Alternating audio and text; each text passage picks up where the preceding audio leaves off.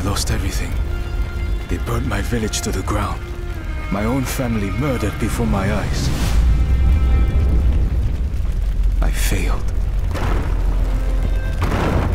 I will avenge their death.